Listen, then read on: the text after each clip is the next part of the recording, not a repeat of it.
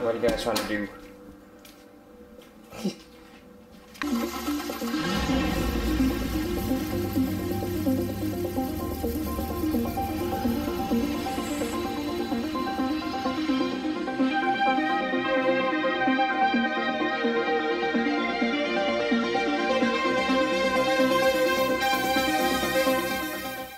Hey, what's going on guys? It's your boy Jed with another video. Thanks for stopping by. In this video, I'm gonna show y'all how to uh, heat wrap your exhaust headers or exhaust in general. I've, it's something I've done before with the Vulcan S. I've done in a past video. Um, but this time, uh, it's gonna be for the RSX. And matter of fact, let me go out here and show y'all what I'm gonna be wrapping. There it is. It's uh let me see, let me turn it over a little bit. Alright, you see that? It's an Invidia exhaust header for the Acura RSX. It's the 421 design with a flex pipe and it goes to a 2.75 inch uh, outlet. I picked it up from somebody that was like two and a half hours away, but he's still selling it for cheap so I couldn't pass it up. This is the first step to uh, finally fixing a big problem with my car, which is the exhaust in terms of how it sounds and how it helps the car perform.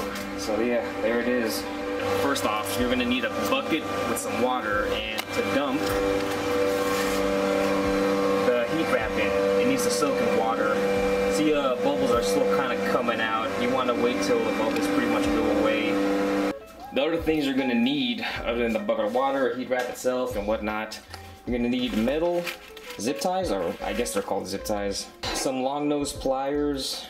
Um, I got two of them because I because this one it kind of sucks. But this Leatherman, the tip's broken off, but the the cutters are right are pretty good still. Uh, you're gonna need some kind of cutting tool to cut off the excess of the zip ties. Uh, and then something to cut the uh, exhaust wrap itself. I also need some like gloves or something to when you're messing with the heat wrap because it's there's a lot of fiberglass in heat wrap, so that's just to protect you from getting like a bunch of splinters in your hands and stuff. So it's a good idea. So heat wrapping is actually not a hard thing to do.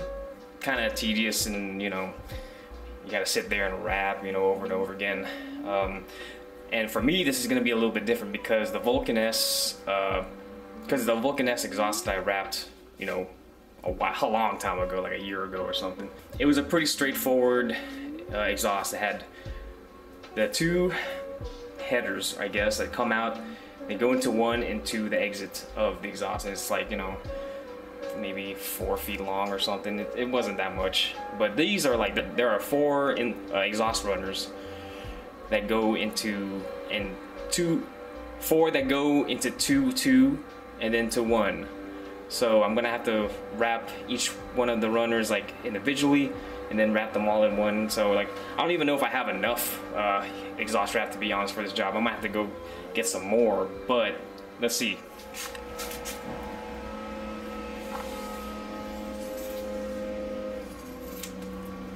Cut off a piece, hopefully it's long enough.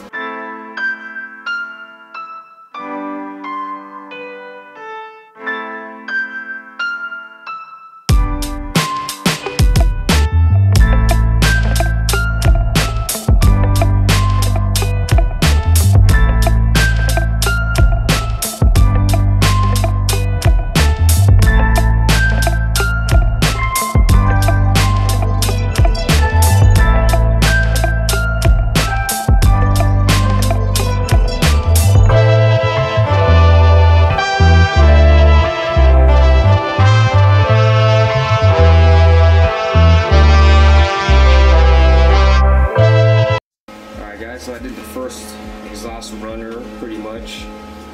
Uh, I don't know if you saw, but I just wrapped this side one or two times. Tied it down with a metal zip tie, then wrapped it around, along the, all the way down till I can't no more, where the weld is right here. Um, to make as much use of this wrap as possible, I'm trying to do it to where it's like spaced out as possible. And also every time you go over, like pull it tight. I'm gonna go ahead and do the rest of these runners off camera and I'll get back to you. One hour later. So I finished the uh, uh, individual runners of the header. Uh, by the way, quick tip. If you're gonna do this, get more exhaust wrap than you think you need. Cause I, all I bought was a measly like 5 or 15 foot roll from O'Reilly's. I sorely underestimated how much I needed. I should have gotten a 50 foot roll to begin with. I bought a, uh, off camera, I bought a 50 foot roll. Had to go run to the nearest O'Reilly's and all that because that 15 foot roll was just good enough for like three of the runners. So, so yeah, it's uh, get more than what you think you need the first time. I did uh, all four. It's it's not hard. It's just you know tedious and you just gotta be patient with it. By the way, these uh, I don't know if y'all know how to use these uh, metal zip ties, but basically you go in. Once you go in, pull it tight as much as you can. And then you gotta take some needle nose pliers, grab that end of that, that slack, and then just kind of turn the the, uh, the zip tie as much as possible until you can't anymore. Be sure not to go too much because actually this one blew out on me because I went too hard, uh, too tight and it kind of just ripped off. Uh, so don't uh, don't go too hard. Just just pretty much till it's snug. It's not going anywhere if it's snug. And then to cut off this excess, you could either just get some snips. It's a lot easier, but I can't find mine. So what I do is just hold on tight with this, bend that part like like that, and just bend it back and forth. There, comes off. So that's how you do the metal zip ties. What I'm gonna do now is wrap those these two where where the two runners meet like here to where it's like pretty much down here then after that I'm just gonna do one big wrap around the uh, around the whole uh, pipe down to the flex pipe. Went, went ahead and do the where the pipes meet.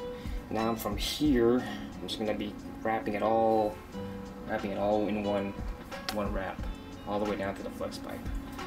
So yeah, just about done.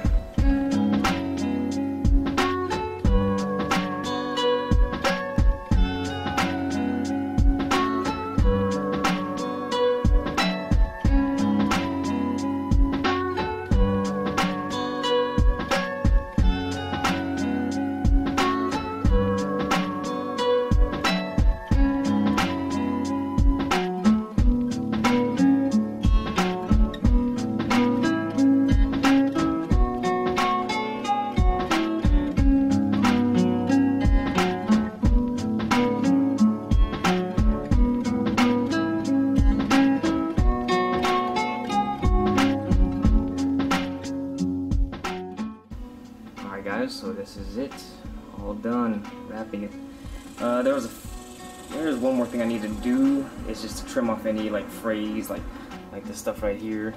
Trim stuff off like that. But other than that, the exhaust is wrapped and good to go. I went crazy with the uh, zip tie stuff here because there was just for one for security and then two for like because there was like some loose flaps I wanted to tie down and this was the only way I could get around this area I think. So that's that. Yeah. Uh, not too bad I guess. Given I'm doing it out here in my, my little porch over here.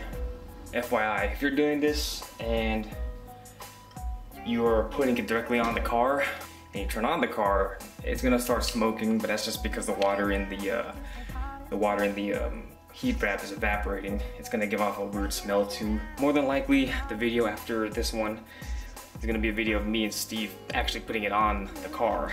I'm not putting these in parts, but it is kind of in parts.